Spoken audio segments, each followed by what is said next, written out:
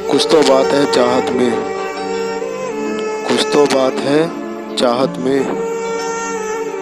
वरना लाश के लिए कोई ताजमहल नहीं बनवाता।